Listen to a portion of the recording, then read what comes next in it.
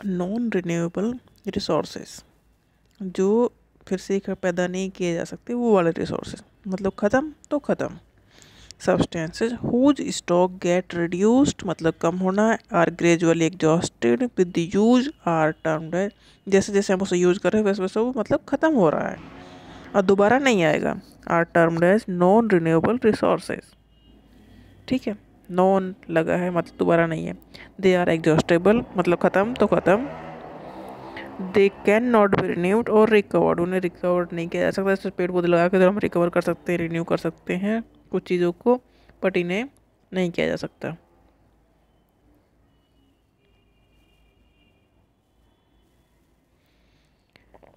There quantity is more और less fixed quantity मतलब fix type की क्वांटिटी है। मतलब जो है, उतना ही है। उससे ज़्यादा तो होगा नहीं।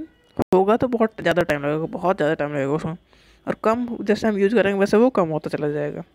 ठीक है? देयर क्वान्टिटी इज़ मोर और less fixed quantity because their formation takes long time long geological period of millions of years जिसे लगेंगे बढ़ने के लिए। तो इससे क्या मतलब है उसे बढ़ना तो भूल ही जाओ।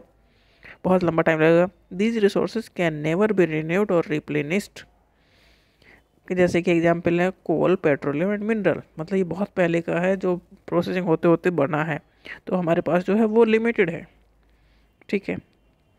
अब हम इसे बनाने के लिए बहुत मिलियंस ऑफ़ ईयर्स फिर से लगेंगे। तो अच्छा है कि इसे लिमिटेड में ही यूज़ किया जा सके। जितना बेटर हो, उतना अच्छा है। तो नॉन रिन्यूएबल रिसोर्स मतलब जो रिसोर्स एक स्टोर है, उसमें से जितना यूज़ करें, उतना ख़त्म हो रहा है और उसे दोबारा नहीं लेके आया जा सकता।